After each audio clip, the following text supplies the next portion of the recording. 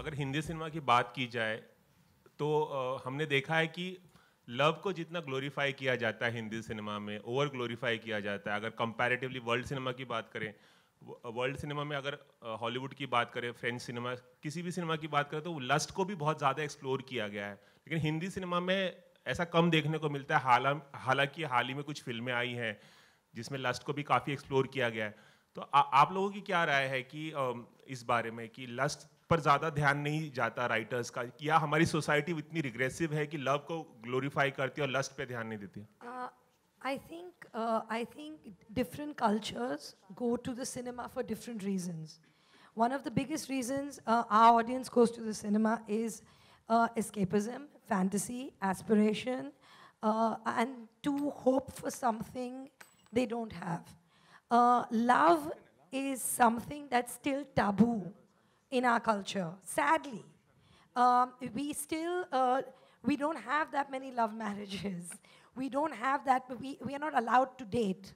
We are not, uh, I mean, I mean, you're still, your, your parents still decide who you should spend your life with. So the ultimate fantasy is to see a boy, fall in love, and end up happily with him no matter what the opposition. So love stories will always be big in our culture till our, the, the culture changes. That's not going to change.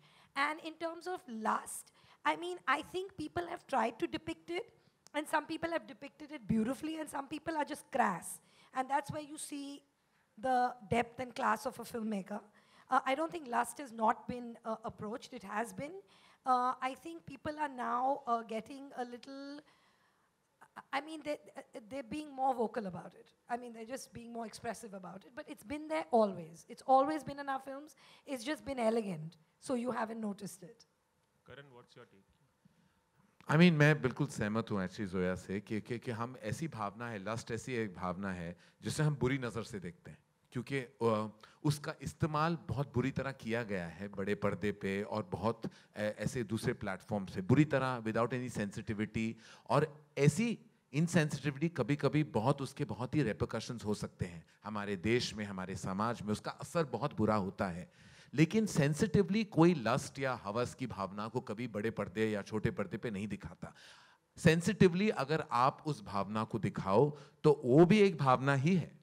जैसा इश्क है, वैसा हवस है, दोनों हो सकते हैं को एग्जिस्ट भी कर सकते हैं। लेकिन बहुत बार ऐसा होता है कि उसका इस्तेमाल जैसे मैंने कहा, बुरी तरह होता है और इसीलिए उस पर बुरा असर पड़ता है समाज पे। And that is something that we all for us collectively realize that हम वैसे निर्देशक हैं ही नहीं।